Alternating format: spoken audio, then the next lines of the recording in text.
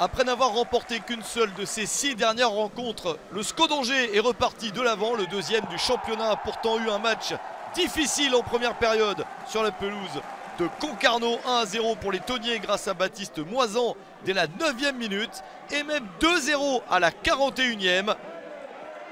Le troisième but de la saison de Clément Rodriguez met le SCO en difficulté.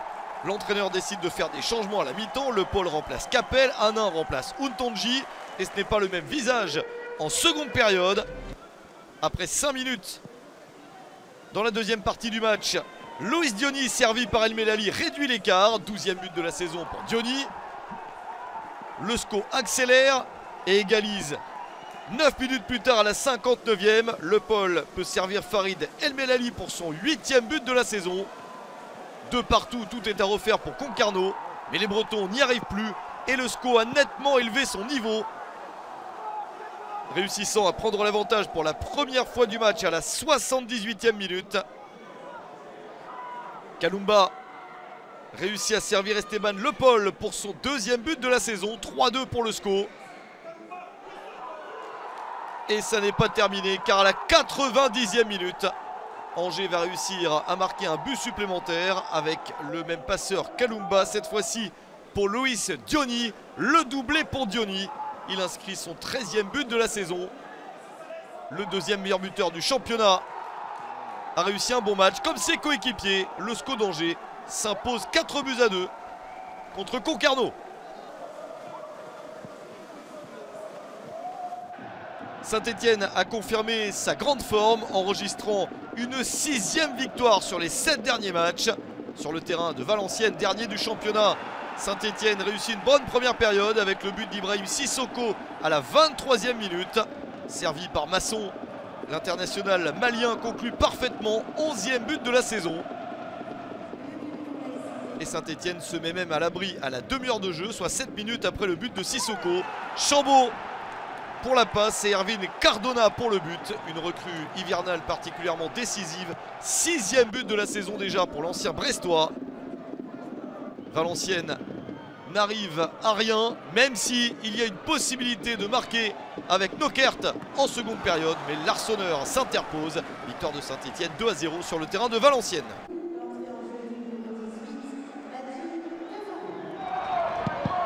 Match très disputé entre Laval et Bastia.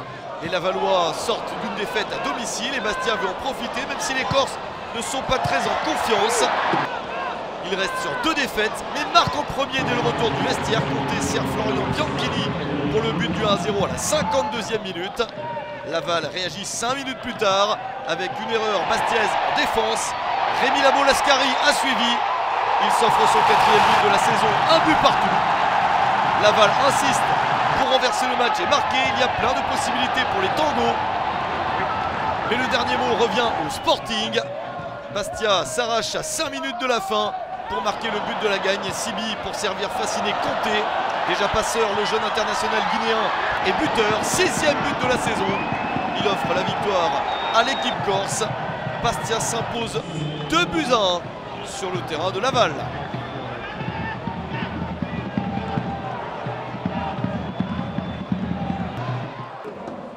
Rodez est en grande forme, 3 victoires et 3 nuls sur les 6 derniers matchs pour les Ruténois et il le montre sur le terrain de 3 avec le premier but juste avant la pause, 45e minute. Arconte sert Lorenzo Rajo. Le cinquième but de la saison pour Rajo. Rodez marque sur l'une des dernières actions de la première période. Et c'est confirmé au retour du vestiaire car le ballon vient à peine d'être remis en jeu quelques secondes après le début de la deuxième période. Erreur défensive de l'Estac, c'est récupéré par Terry Carconte. Passeur sur le premier but, il est buteur ici. 2-0 pour Rodez, sixième but de la saison pour Arconte. Les Troyens sont en grande difficulté et ils cèdent une troisième fois à la 57e minute. Silla peut servir Wanis Taibi. Alemdar ne parvient pas à sortir le ballon. Trois buts d'avance pour les Ruténois. L'Estac a tout de même le mérite de ne pas lâcher, d'attaquer et de réduire l'écart à la 72e minute. Bangré trouve Xavier Chavalrin pour son troisième but de la saison. Le ballon est légèrement dévié. 3 se relance et insiste à la 81e minute. Kylian Dong réussit encore une fois à réduire l'écart. Il n'y a plus que 3 buts à 2 pour Rodez, mais c'est trop tard. Et Rodez confirme sa victoire sur le terrain de 3. Derby bien débuté par le stade Malherbe de Caen sur la pelouse de Quevilly-Rouen Métropole. Le premier but est pour Alexandre Mendy après 10 minutes seulement. Servi par Brahimi, il marque son 18e but de la saison. Les Canets continuent à attaquer, à avoir des occasions avec Michael Le Billon pour une reprise spectaculaire. Et une superbe parade de Benjamin Leroy. Il permet à QRM de ne pas encaisser un deuxième but. Mais c'est partie remise. Car Alexandre Mendy n'a pas terminé de marquer dans ce match. Il s'offre un doublé à la 43e minute. Il s'y reprend à deux fois pour inscrire son 19e but de la saison. Le meilleur buteur de Ligue 2 BKT fait une énorme différence dans ce match.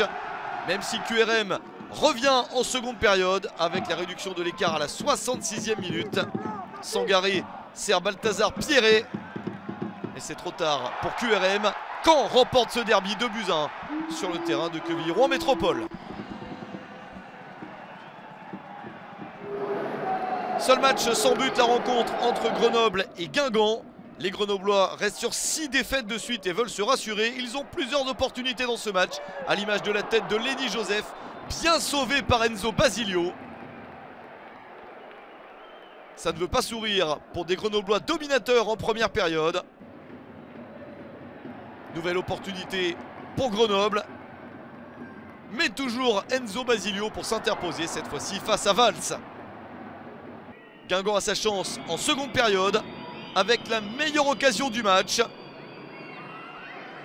Le ballon termine sur la barre transversale, pas de réussite pour Lémonier. Et personne ne marque dans ce match, 0 à 0 entre Grenoble et Guingamp. Rencontre très disputée entre les Girondins de Bordeaux et le Paris FC. Le premier but intervient à la 34e minute. Noah Dico, servi par Jabari, marque le but du 1 à 0. Et c'est une excellente période pour le Paris FC qui reste sur deux victoires et espère en enchaîner une troisième. Car il y a 2 à 0 4 minutes plus tard à la 38e. Toujours Jabari pour travailler dans la surface et trouver Jules Godin et son premier but de la saison. 2 à 0 pour le PFC, c'est un très bon résultat, mais les Bordelais ne lâchent pas. Juste avant la pause, ils réussissent à réduire l'écart. Il n'y a plus que 2-1 à la 42e minute. Bokele sert Zurab Davitashvili, l'international géorgien se charge du reste, qualifié avec sa sélection pour le premier euro de l'histoire de la Géorgie. Davitashvili est en confiance, il relance les Bordelais. Au retour du vestiaire, coup franc pour Bordeaux, Johan Barbet, le capitaine s'en charge, de partout, cinquième but de la saison pour Barbet.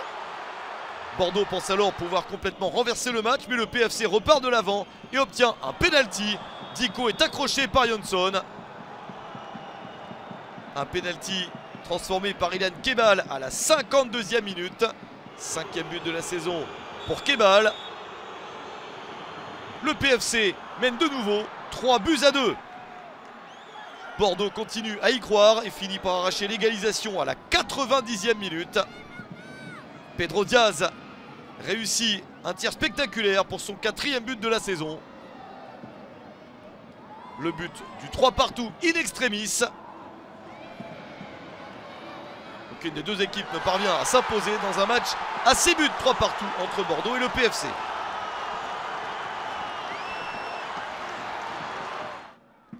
Amiens 9e face à Pau 11e, un match qui s'annonce très disputé et c'est le cas avec des Amiénois efficaces assez rapidement. L'ouverture de Gélin pour trouver Louis Mafuta.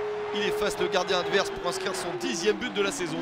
Le centrafricain est toujours aussi efficace à 1-0 dès la 18e minute. Et même 2-0 au retour du vestiaire avec le but de Gaël Kakuta.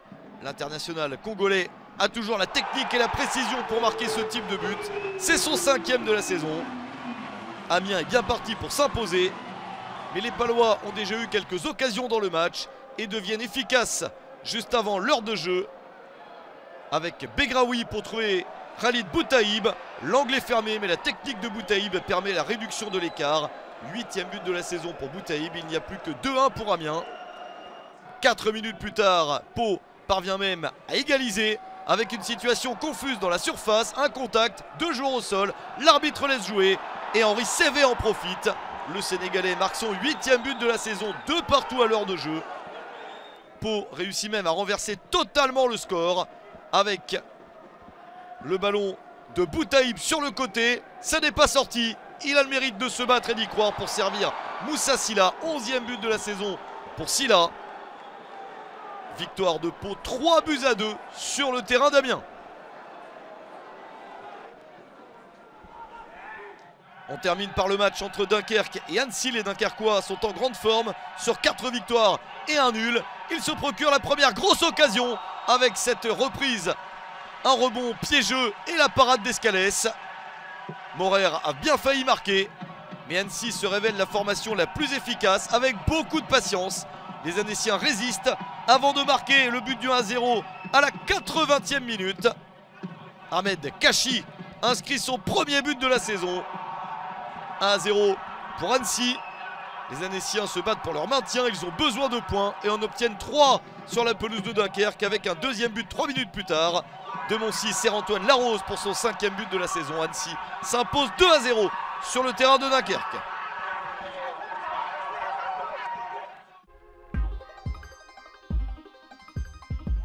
32 buts ont été inscrits au cours de cette journée particulièrement prolifique, un seul 0 à 0 et surtout aucune victoire à domicile et 7 victoires à l'extérieur.